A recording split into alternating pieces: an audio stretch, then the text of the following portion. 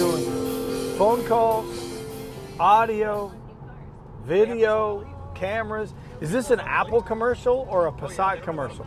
Because look at it, it goes right back to Bluetooth audio. So this is, it's playing off the Bluetooth through the iPod, not even the iPod player, because we have the iPod. You could charge your iPod right now and play off the Bluetooth.